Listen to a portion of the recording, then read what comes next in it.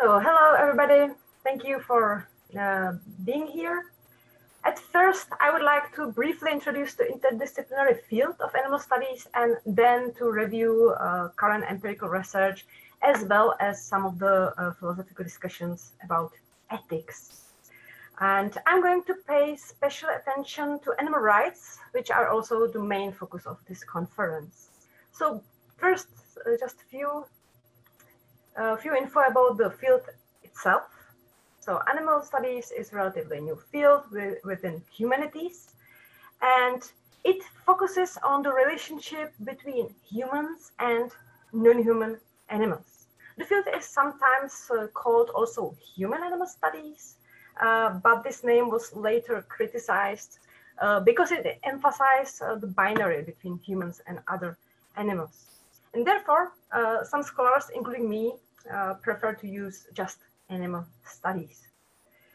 Um, animal studies is not the study of animals per se, like in natural science, Rather, it focuses on the interactions between humans and, and other animals.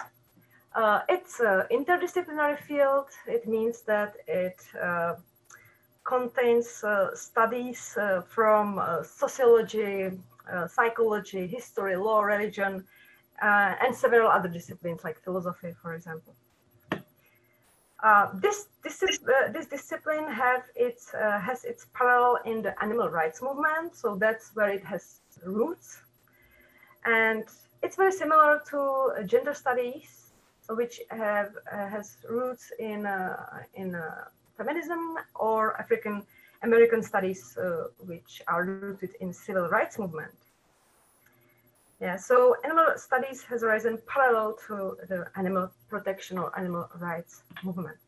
And the, the most important uh, books uh, for this field, uh, or like the first uh, important publication which sparked interest were uh, Peter Singer's Animal Liberation from 1975, followed by Tom Regan's The Case for Animal Rights in 1983. And so these uh, two books are considered as very important because it uh, they led to an explosion of interest in animals among not only animal advocates uh, or the general public, but academics as well, because academics are also part of the public, of course, and some of them are activists as well. Uh-huh. Like alarm clock. Oh, I'm sorry.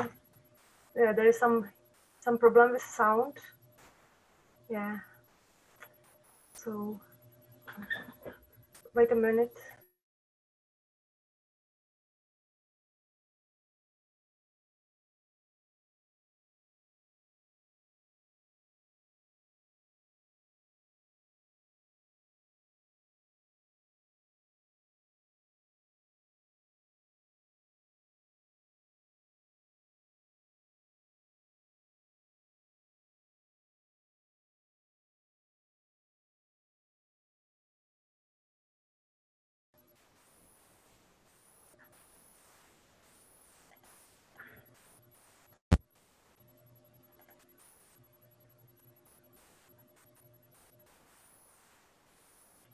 Okay, what about now?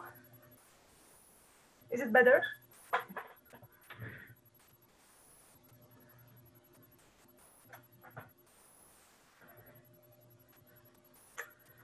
still there. I'm sorry, I don't know where it comes from. I put in different microphone. Okay, thank you, thank you, I'm sorry. So that was uh, the roots. Okay, I continue. So now it seems stacked. Okay. Okay. Uh, although animal studies uh, can be studied as a relatively uh, descriptive field, which only reflects animals in human society without the critical reflection, some scholars uh, call it value free. The most relevant uh, subfield for this conference is called critical animal studies. Uh, academics within this subfield uh, want to eliminate the domination and oppression of animals, humans included, that's important, and also to transform higher education into a more inclusive environment uh, for considering all species. And uh, critical studies constitute the first academic field to advocate for dismantling of the animal industrial complex and for veganism. Uh, as I promised earlier, uh, now I would like to introduce current empirical research as well as actual philosophical discussions about ethics. Of course, it's not going to be uh, all embracing review, but rather uh, my brief overview of the several, several topics which I consider uh, to be the most relevant to this conference. So for example, like veganism, eating, meat, eating meat or animal rights and liberation. Also, I focused on the publications from the last five years with one exception. next. So one of the uh, current topics are opportunities and barriers of spread, spreading veganism as a part of animal rights movement. So far, research has mostly identified personal barriers related to individuals' personal characteristics, attitudes, and beliefs. Uh, for, for example, uh, enjoying the taste of meat, you know, racializations like this, viewing meat eating as masculine behavior, denying that animals suffer, and so on. But the authors of the study from Kent State University in the US uh, suspected that there might be also social barrier to dietary change, fear of stigmatization. So the authors hypothesized that anticipating this so-called vegan stigma and the consequent loss of friendships and exclusion from social activities might discourage people from going vegan. Uh, other researchers uh, found that exclusion and disapproval uh, can at least partially be explained by uh, so-called communal uh, food hypothesis. So communal food hypothesis stress the importance of our need to share food with friends and family. Uh, the fear of being rejected or disliked by other people uh, as vegan is unfortunately based in reality because research of University of Arizona revealed that the general public has a negative view of veganism and vegans.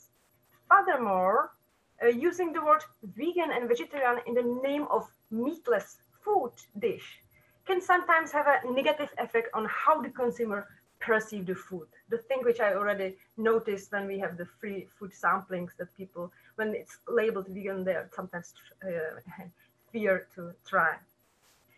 Um, Another article examines institutional resistance to veganism uh, within the medical system. So author argues that the vegan body is socially constructed as a deviant entity by medical professionals. Uh, the, the, research was conducted in Estonia, but I think it's pretty valid for the whole Europe, I bet, but of course we don't have that data.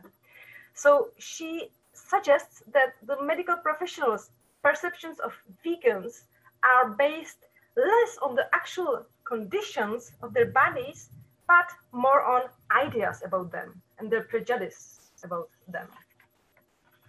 So the experiences of vegans in the medical system illuminate the role of powerful social institutions in resisting any transition in society, and especially this one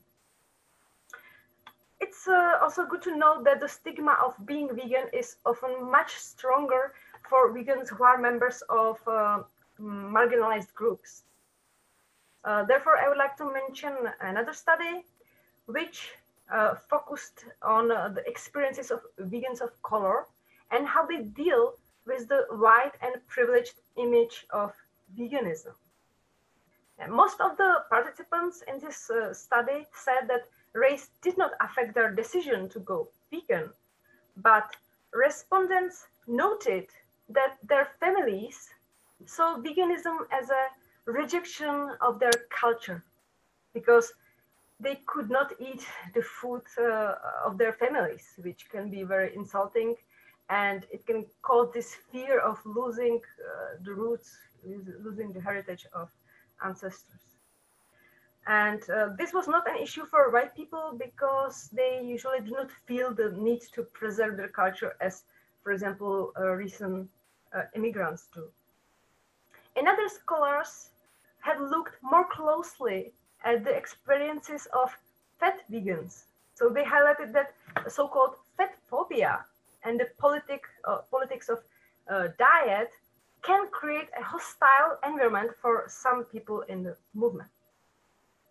Uh, so to sum up these two slides, um, uh, we could uh, achieve, according to at least these conclusions of these studies, we could achieve positive behavior changes much more easily if instead of stigma, um, support for vegans was common and present among family and friends.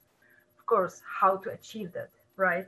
Uh, these studies highlight how important social support is, especially for potential new adopters and for already marginalized people in our movement.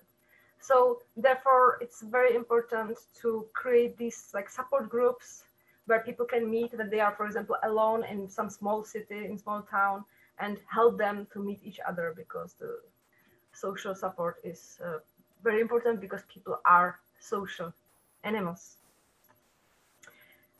although more and more people are adopting uh, uh, plant-based diets and veganism, as I already mentioned, uh, there appears to be some resentment towards vegans and vegetarians. And uh, you might experience it by yourself, you know, that might range from ridicule on social media sites, those jokes like nobody likes a vegetarian, uh, to bumper stickers like this one, you know, vegetarian is an old Indian word for bad hunter. And in fact, uh, there also has been a term coined for this resentment, and it was called vegaphobia. So what is it about vegans that is so annoying, according uh, at least this data? So a reason why vegetarians and vegans can become a target of this uh, negativity, maybe thanks to their sometimes overtly moral behavior, while others may deem plant-based eaters to be snobbish and elitist. Uh, Kara mentions, for example, an ad from PETA, which suggested that feeding kids meat is child abuse. Uh, at the same time, such advertisements may attract attention, media attention, which is very important. The use of uh, strong guilt in messaging like this may also backfire, like in vegaphobia. Another source of annoyance may, may be uh, the so-called militant vegan who uses tactics of intimidation, such as the vegan activist who splashes fake blood on French butcher's display. Um, the last mentioned reason is the way how some people reduce negative feelings from perceiving killing of animals. That may be the most important part. As Kara points out, when exposed to the plight of animal suffering, many people get upset and wish for the cruelty uh, to end. But there is big but. There is a risk that such communications will foster negative attitudes toward the message sender as well. So they don't blame uh, the system or animal industrial complex, but they blame the person who is carrying the message. And it works in also in other topics as well, in environmental crisis and so on. So this um, uh, blaming message sender is also effective way how to reduce feelings of guilt. Much easier than actually changing the whole way of living. Yeah. Another area of research deals with the effectivity of different types of animal rights activism. As we know, animal rights activists uh, regularly use visual communication to get uh, their message to the public. Uh, explicit uh, violent images are considered as very potent tool to bridge the moral gap between activists and between the audiences. Um, however, there is a strong debate regarding the effectiveness of different visuals. For example, Fernandez conducted the review of the actual research about the effectiveness of showing graphic images and about inducing so-called moral shock. Uh, according to her, a relevant number of findings show a positive correlation between moral shock or explicit violent images and positive change in the field of animal advocacy. However, using the moral shock involves some dangers and risks. For example, uh, horrible images with violence can make people look away because it's too difficult to handle. Atala also mentions that showing violent uh, images can lead to desensitizing and to normalizing violence. And also it can lead to so-called compassion fatigue generated in the audience. In other words, that audience can lose the ability to care about suffering because it's too much. So our mind blocks uh, this feeling in order to protect our psychological health. So that's where it can backfire. Uh, Fernandez and Atala know that it's it's possible to use moral shock but only when certain conditions are met. So according to Fernandez, it's necessary to find effective frames to explain these experiences of uh, non-human animal suffering. She recommends frames that emphasize animal personhood, individuality, um, sentience, and complex emotions, also in positive and non-violent ways. Uh, for example, um, images of non-human animals that live in animal sanctuaries where they can live happily, you know, without uh, fear of being killed. These images, these positive images, let us imagine how the absence of fear and suffering might feel. And it allows us to open to also the other side yeah so to see the if, we can see also the positive example like how we can treat the animals it's for us uh, more uh, possible to accept also the horrible reality or accept actually bearing bearing witness okay and Atala claims that it's useful to promote action in response to the realities shown in those images so people can actually do something about that so they don't feel powerless when they are exposed to those uh, violent images. Also, it is good idea, according to her, to announce the explicit content of images when possible, especially when people in the audience struggle to manage the emotions triggered by the images, especially children. Yeah, and it's also much more effective when it's uh, voluntary, yeah, when they are not forced to watch it. Yeah. Uh, regarding promoting veganism, it's worth to mention study of Gruen and Jones, who claim that vegan living is, at least in their head, impossible for most current consumers in industrialized societies. So even though it might not be true in their head, it's really something which is impossible. It's nothing like they wake up and choose different type of tea. So these authors argue that instead of discussing veganism as identity or lifestyle, it's, according to them, better to think of veganism as a non-idealized aspiration, like some ideal where people like trying to achieve. And so it's not uh, reduce, reductarianism, uh, like uh, allowing people like, okay, you can have just meet once a week and that's okay, but like going to the goal, but it's okay to be on the on the way. So avoiding identity of moral purity or even vegan superiority, according to these authors, increase the likelihood that non-vegans will be open to embracing uh, the non-violence that grounds veganism.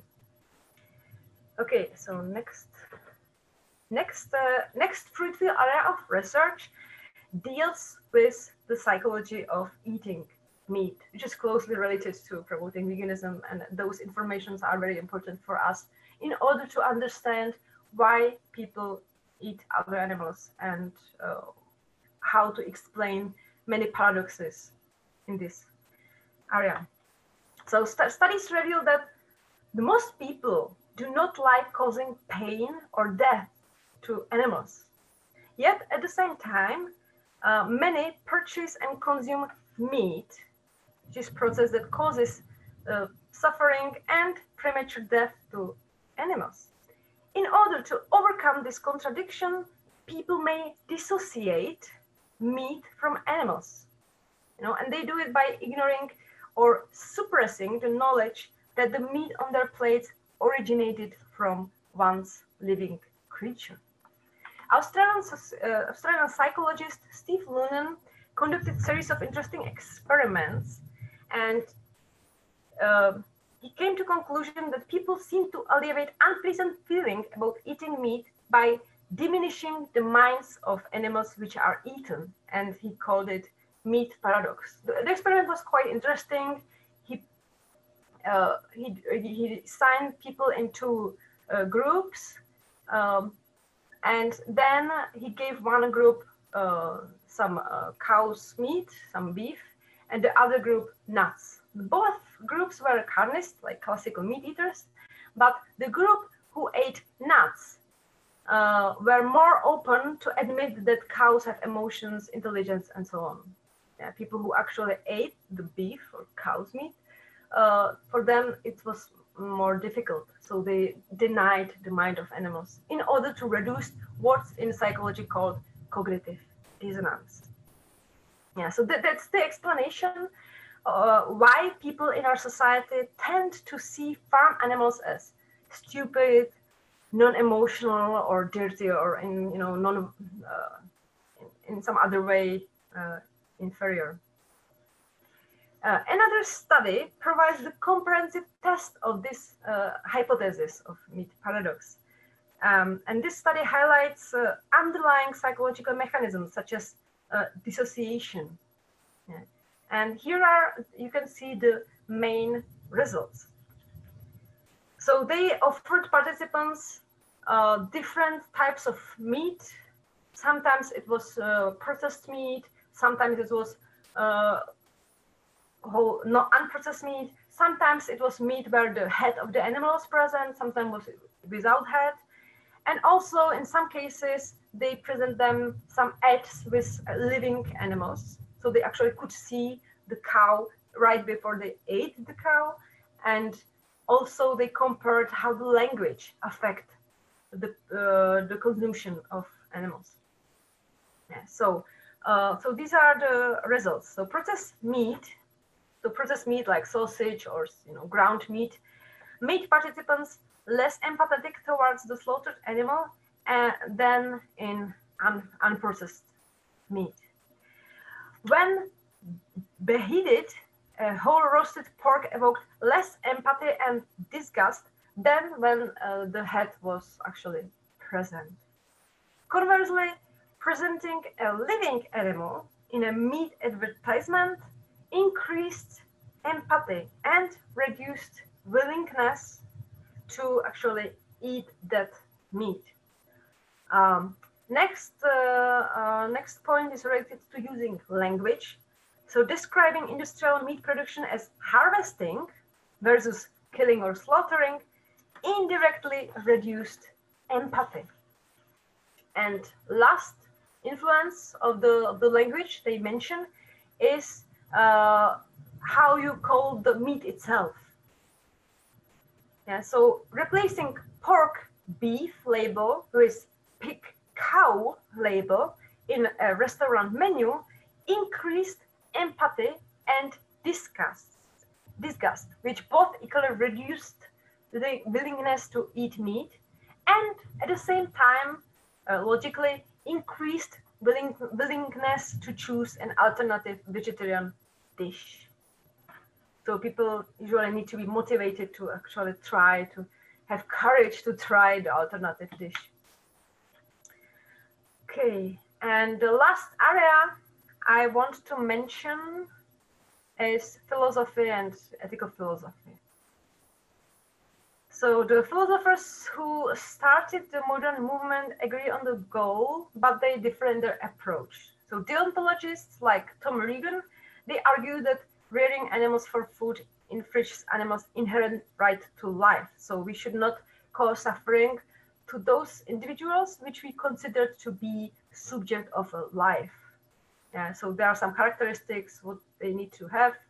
Uh, and then if they have these characteristics that we have to, we cannot kill them in any way. We cannot even use them uh, for some greater good.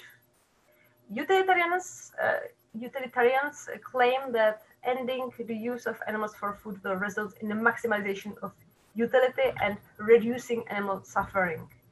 Uh, so uh, they balance the suffering. So, for example, they sometimes can cause suffering if it helps much more other individuals.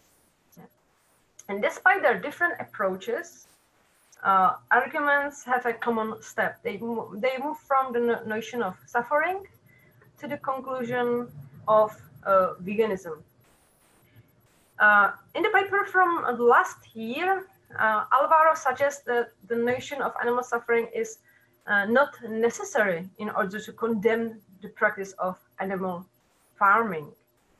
So he, pro he proposed the possibility of defending veganism on the basis of uh, arguments that do not rest just on the notion of animal suffering, but rather rely on aesthetic principles, the avoidance of violence. So even though the suffering is not presented, it's still a violent act to kill somebody who does not want to die, and preservation of the environment and also health. Um, last paper I want to mention is dedicated to animal liberation as a moral duty. So authors of this paper from 2018 uh, note that when non-human animals escape imminent slaughter at the hands of humans, they usually became celebrities. So people usually want them to be free. They uh, they are fan of them, and it might also sound paradoxical, uh, like if other animals would not want liberation too, like other animals who are waiting in slaughterhouse. But never mind. So despite this, despite that the audience is usually in uh, wants uh, wants to liberate animals, uh, popular culture is saturated with narratives that reinforce the binary of us versus them, us as humans versus them, animals which should be in a place to, to serve us. So when a non-human escapes, humans must hunt down him or her to restore the human's sense of order. Furthermore, uh, news articles often refers to cases of animals seeking uh, their own liberation from zoos, slaughterhouses, and other types of enclosures as jailbreaks, using uh, the language which suggests criminality. So the discourse is clear. Non-humans are uh, the criminals uh, for attempting freedom despite uh, committing no crime, just not being where humans want them to have. So Ellen and Essen argue that animals are agents of resistance, and as such, humans are responsible for the abolition of captivity and uh, promotion of non-return policies. So uh, at least when animal escape that we should not have right to keep them back or if they are not possible to take care of themselves to put them in some uh, sanctuary so humans according to them should recognize non-human status as active resistors to captivity okay so those were the topics and uh, research uh, which i wanted to mention and now I would like to share with you some links, useful links, if in case some of you are interested in animal studies and uh, would like to read uh, the research uh, from this field, or uh, even better to start to, to be part of that of that subfield. And actually, so maybe you are scholars from some disciplines of humanities and uh, this, uh, this area is uh, very fruitful and it's getting more and more important. So here is some list of the organizations. Uh, first is European Association for Critical Animal Studies, uh, which I um, co-founded and uh, it organized every two or three years conference every time in different place in Europe. Maybe it will goes online in the future. We will see. Uh, the, the second from the from US is North American Association for Critical Animal Studies, which is the sister sister organization of European one. Then the third is the oldest organization uh, in this critical subfield. It is it's called the Institute for Critical Animal Studies, and it's also mainly located in United uh, United uh, States. Uh, then also another even older organization is called Animals and Society Institute. It's uh, not um, the critical subfield, so it's uh, more like human animal studies. It's descriptive um, usually. Uh, then I would like to mention Center for Human Animal Studies, which is located in UK and it also organizes some uh, conferences time to time and international society for anthrozoology um, uh, that's uh, focused mostly on anthropology but also other disciplines. Okay and uh, here are some useful links uh, to academic networks. So it's very useful when you would like to be active. Um, uh, it's good to be in touch with other academics to share you know ideas for research or some results of the research uh, or you know collaborate. It's great place to find somebody from different country to create international research which is uh, very useful. So first uh, networks uh, by the already mentioned european association for critical studies. So we have a facebook group uh, we have a website and also mailing list where you can sign in.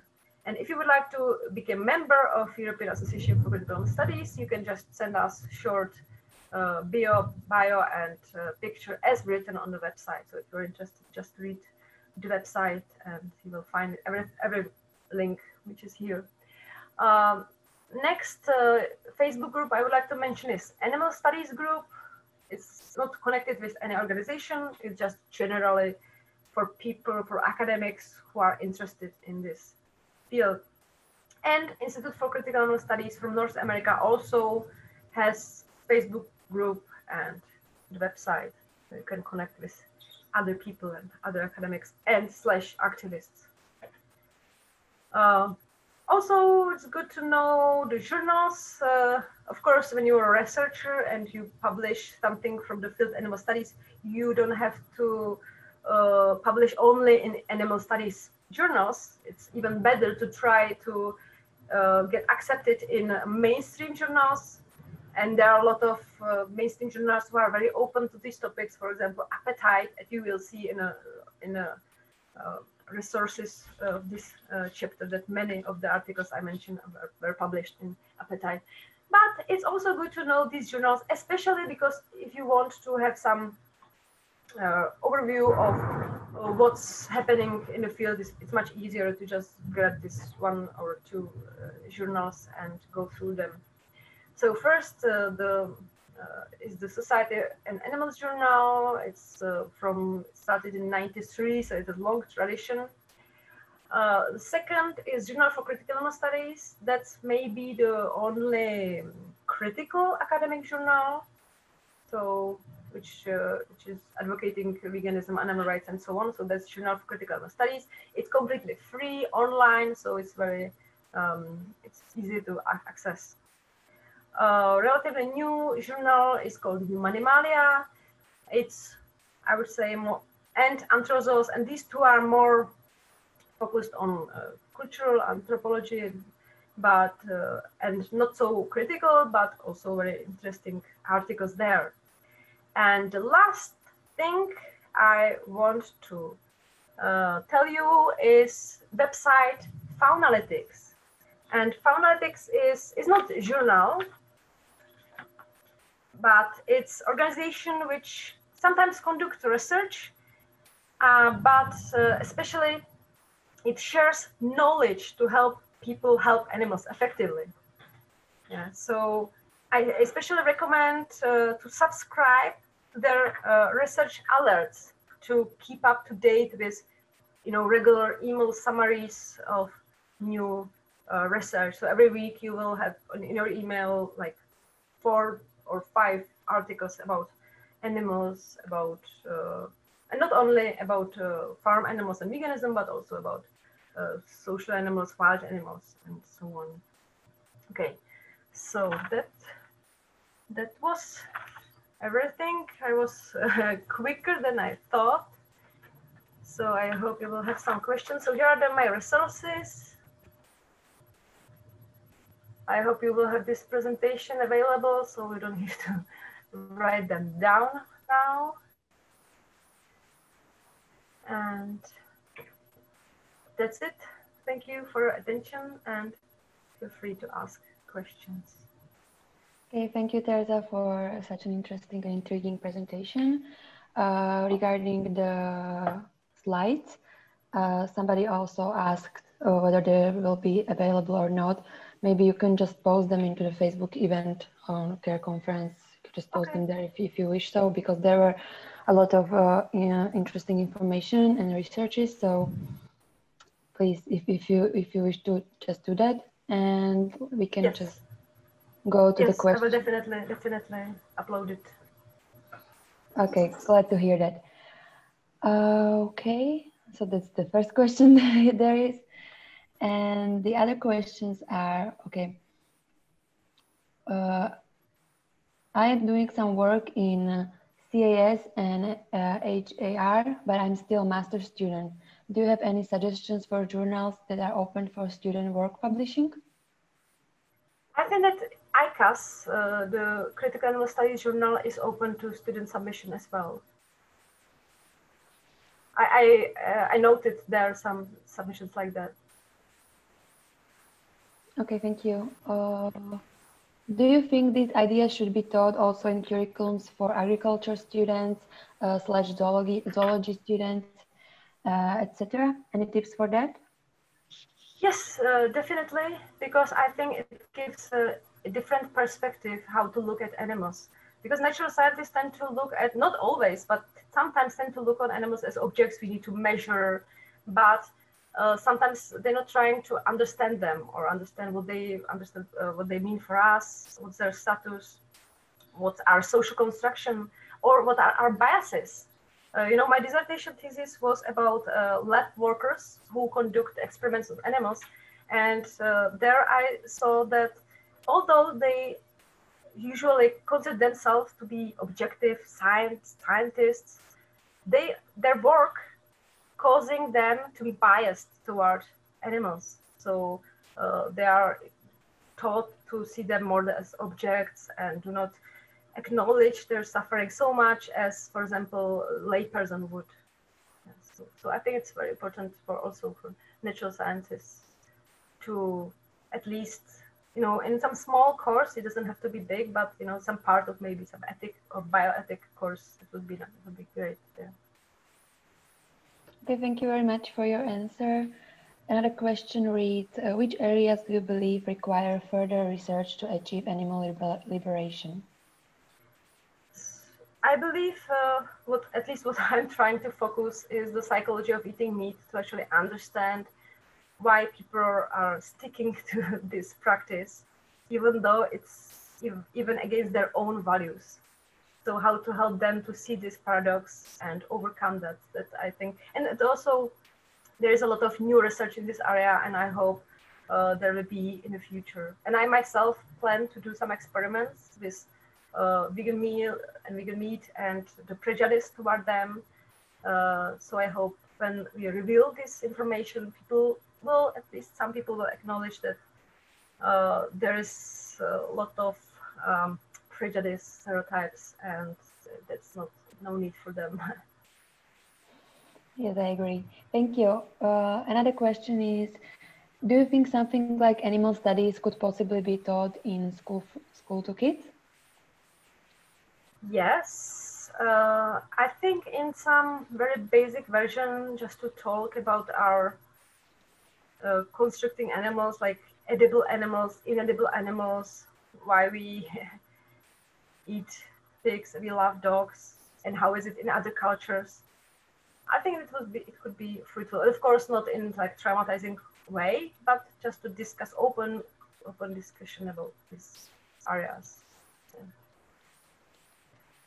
Or about or about how to you know interact with even like dogs and cats in a respectable way. There are many areas in in, in this field, not only this uh, part I presented here. Okay, thank you. Uh, another question. Are there efforts to include animal suffering in economic theories? For example, through human preferences as negative externalities or animals as separate agents? Yes, that's, that's a good idea, but I'm not an economist uh, to answer. Like, uh, yeah, but that's uh, that's quite a good idea to add this to calculation because we recognize it. So maybe it's our duty to note, notice it and behave according to it. Mm -hmm. There is a question in the chat. Should I answer it? Uh, let me. Which is the perspective of the veganism and uh, indigenous situation? Sorry, again. I'm not sure uh, which it, it was written by Gabriela Cuba, which is the perspective or what is the perspective of the veganism and indi indigenous situation maybe? Ah, like uh, indigenous people who cannot, for example, be vegans because of the environment, like Inuits and so on. Yeah, I think, you know, it, it, definition of veganism is about what is practicable you know, the, the official definition of uh, vegan society.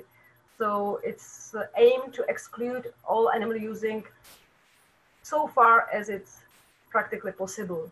Yeah, so I think it's uh, uh, when people really are somewhere where they have no other options, then it's uh, ethical to, to do that because ethic is only possible when there is a, a possible of choice or when there's free free will of course, we can say that they can move somewhere away. That's what I would recommend in the long term, but uh, I know it's, I would say like, it's about the choice. And also I have secret uh, or private message from one participant, if I can answer that on the chat. So how do yeah how do vegans deal with the ethical concern of feeding our companions animals non-vegan food? For example, cats must eat meat and buying their food contributes to animal suffering. Yeah, so uh, that's tough question. Uh, some uh, vegans uh, uh, solve it by buying plant-based special created meal where they have taurine and everything, so they can be fed on this vegan diet. But I know about some animals which are not able to do that. Or I know it's much much much easier for dogs, but I know about some cats for which it was difficult. So I would say it's again it's about choice. If we don't have a choice, then we you know we could, we could kill the cat, but I uh, there's also you know our personal relationship with them and yeah.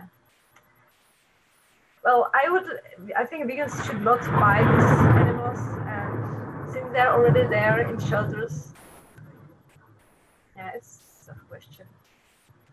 Okay, uh, the next question is, what findings have you found most surprising or contrary to the common sense or, or intuition?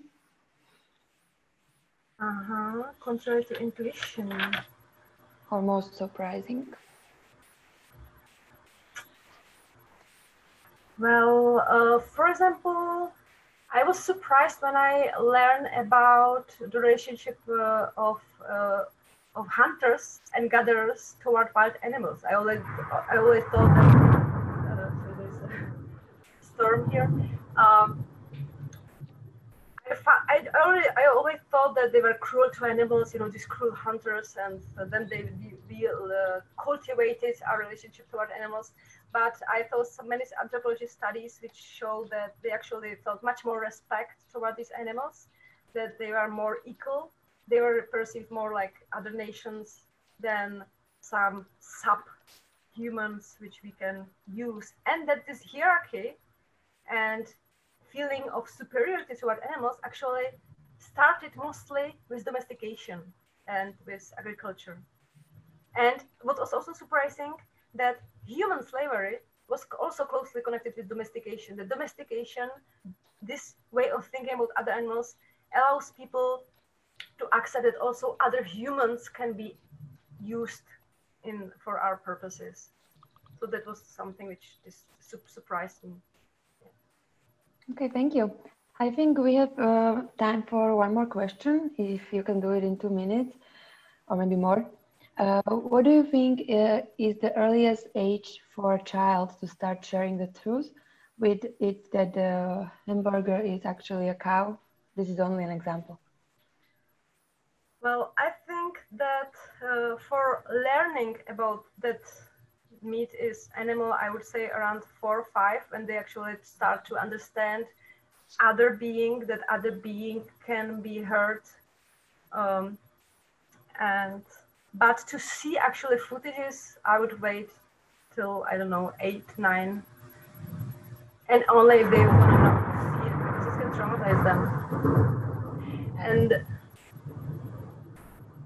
uh, would you say that hunting is more ethical than factory farming? Yes, definitely, because the animals are free until and they can live with their families, they can have their babies, and I wouldn't say it's ethical, but if I need to compare them, then factory farming, it takes all the freedom and it takes all the life of animals because animals are killed right after, you know, even when they are still uh, very young, they are not even adults when they are on the slaughterhouse.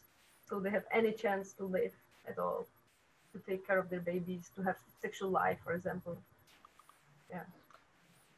Okay, thank you very much.